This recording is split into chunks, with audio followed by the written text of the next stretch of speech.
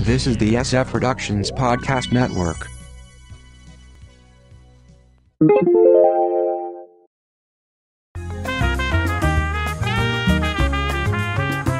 We're going to ask you to enter the soundproof isolation booth. From the Pop Culture Bunker, I'm Mindy. And I'm Mark. You can check out our audio podcast, How I Got My Wife to Read Comics, on your favorite podcast catcher or our website, sfpodcastnetwork.com. Even before the pandemic ravaged the television schedule, a mostly dormant, or at least in prime time, format was making a comeback the game show. Old favorites like Match Game, Press Your Luck, and To Tell the Truth were getting a new life, while new shows like Beat Shazam, essentially named that tune, and Mental Samurai began popping up. Why? Because they're cheap, despite the huge amount of cash you can but are unlikely to win. But there was a time where game shows ruled the primetime roost and almost brought an end to broadcast TV as we know it. Early game shows were cheap both in production value and prizes to be won. The sponsor might hand out a fridge or a TV from their line of products. Keep in mind that until the late 50s, partially due to what we're going to discuss, most TV shows were produced by an ad agency on behalf of their client sponsor. There were also panel shows where a team of celebrities would guess something about a contestant. What's my line? I've got a secret. Like that with the contestant winning 50 to $100 and a carton of Chesterfields.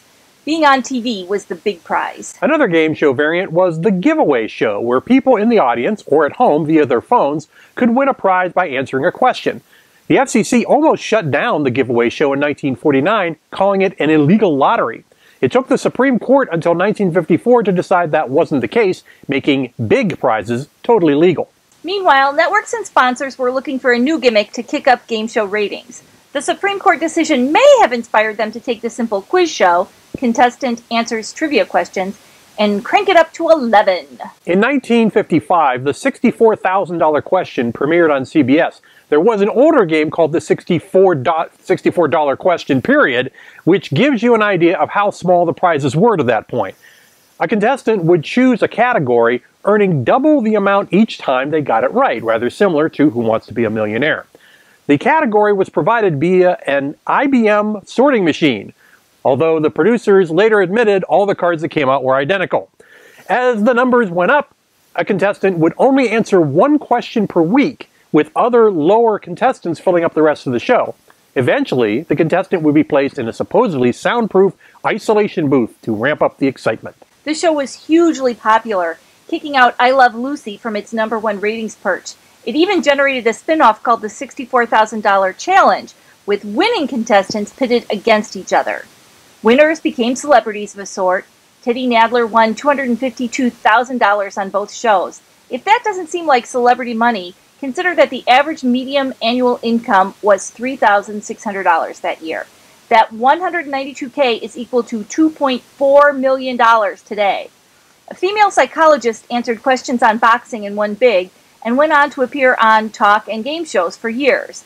Dr. Joyce Brothers. It also became a cultural touchstone, with parodies on the Jack Benny program and the Honeymooners. To say that television tends to jump on a trend is an understatement, and similar quiz shows sprouted up like weeds. Dotto, The Big Surprise, For Love or Money, Tic Tac Dough, Top Dollar, The Big Payoff, and 21.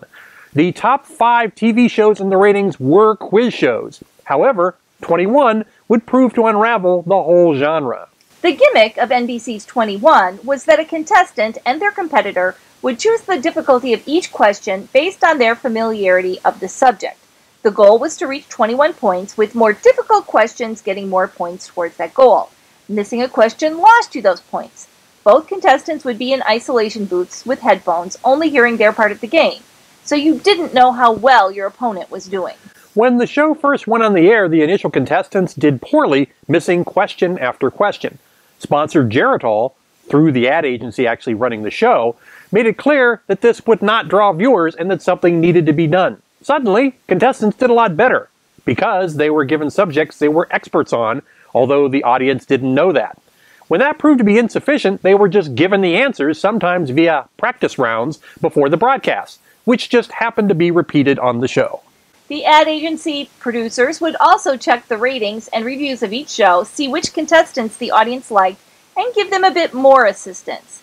Contestants were given lessons on how to answer questions, furrowing their brows, muttering, I know this one, and basically stretching out each answer. The isolation booths were air conditioned, but could be shut off so they would literally sweat out the questions. Two contestants in particular stand out Charles Van Doren and Herbert Stempel. The former was a movie star handsome college professor, the latter a bespectacled post office clerk with an incredible memory. Stempel was played up as the scrappy underdog to Van Doren. Stempel's wife actually came from a rich family, and they were well set financially. Given an oversized suit by the producer, he was allegedly offered $25,000 on the side to play the part, which he did. Later, the producers would use this as leverage to get him to accept a lower final figure on what he actually won on the show. People began to tire of Stempel over time, and ratings dropped. So in came Van Doren, who quickly became a favorite and the random category started leaning his way. After weeks and weeks of 21 21 ties, the producers asked Stempel to take a dive and purposely miss questions. When he was asked who won the 1955 Best Picture Oscar, he guessed on the waterfront despite his love of the actual winner, Marty. One show later, Stempel was defeated and left the show, with a promise to get him a spot on a panel show unfulfilled. Meanwhile, Van Doren became a major celebrity, the cover of Time magazine, a special correspondent on then nascent The Today Show, and a $150,000 three year NBC contract. Stempel took his story to a TV columnist, but without any corroborating evidence, they shied away. It would take another show's mistake to supply that evidence. A standby contestant on CBS's Dotto, Edward Hilgemeier Jr., happened to find a notebook offstage from current contestant Marie Winn which included both the questions and answers. She apparently needed to write them down to remember them. The offending pages were torn out and told competitor Yafe Kimball after she lost to Marie Winn. The producers got wind of it and allegedly tried to pay them off. Hilgemeier went to sponsor Colgate Palmolive with the evidence and made its way to CBS. They checked the kinescope against the pages and then met with the show's creator, Frank Cooper, who admitted the show was fixed. CBS almost immediately canceled the primetime and daytime versions of 21, replacing it with Top Dollar. The change happened so swiftly that the studio audience who sat down to watch Dotto was informed as the show began that Dotto, the program that normally airs at this time, will no longer be seen. Instead, welcome to Top Dollar.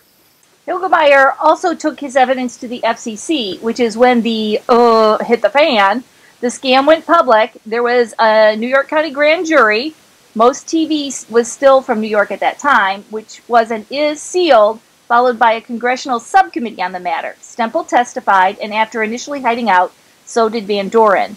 Another 21 contestant, James Snodgrass, provided the final proof of that show's malfeasance. He documented each time he was coached and mailed himself registered letters about it.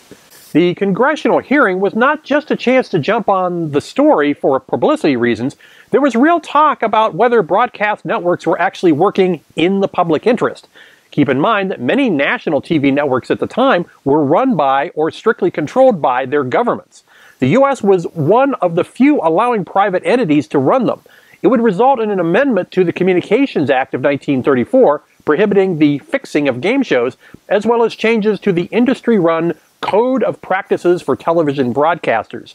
This also hastened the move of shows away from a single sponsor, becoming the multiple commercials we see and skip today, run by a TV or film studio rather than an ad agency. Van Doren lost his NBC deal and his professorship, ending up as an editor and writer. Stempel continued a career of a civil servant, only accepting an interview decades later as part of the hype for 1994's quiz show film, highly recommended, by the way. 21 producers Jack Barry and Dan Enright, the former was the show's host, were blacklisted for years. The quiz shows disappeared, replaced by the new trend, westerns, as well as more public service programs, at least temporarily. The remaining game shows were given severe limits as to the amount of money they could give out, something that only opened up decades later, which brought us back to big bucks, as well as the number of times a contestant could play entire squads of monitors and attorneys were deployed to ensure games were on the up and up. This is also why there's a lot of fine print in the credits of game shows since then. And now game shows have returned to prime time. Can they avoid the temptation this time around? Who knows? While you're watching the game shows, you can also check out our audio podcast, How I Got My Wife to Read Comics, on your favorite podcast catcher on our website, sfpodcastnetwork.com. From the Pop Culture Bunker, I'm Mindy. And I'm Mark. Thanks for watching.